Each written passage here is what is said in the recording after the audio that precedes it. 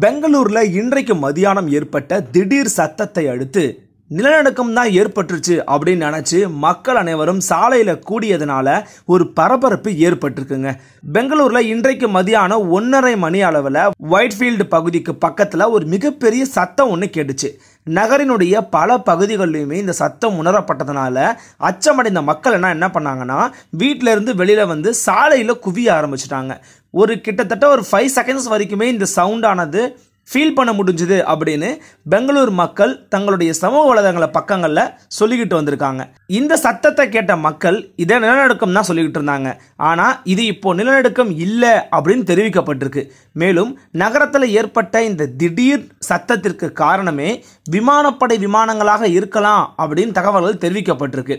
இந்த சம்பவத்தில் எந்த விதமான சேதமும் ஏற்படலை அப்படின்னு பெங்களூரு நகர போலீஸார் தெரிவிச்சிருக்காங்க. மேலும் விமானம் செல்லும் போது ஏற்படக்கூடிய சோனிக் பூம் அப்படிங்கிற ஒரு நிகழ்வின் காரணமாக இந்த மிகப்பெரிய சத்தம் ஏற்பட்டிருக்கலாம் அப்படின்னு சொல்லப்படுது.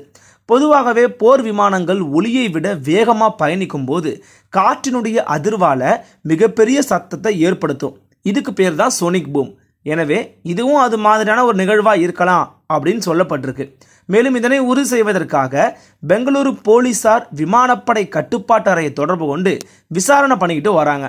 இருந்தாலுமே ஒரு மிகப்பெரிய சத்தத்தை கேட்டு நிலநடுக்கம்னு நினச்சி மக்கள் அனைவருமே வீட்டை விட்டு வெளியில் வந்து சாலையில் கூடினதுனால கொஞ்ச நேரம் பெங்களூரு நகரமே பரபரப்பில் தான் இருந்துச்சுன்னு நம்ம சொல்லணும்.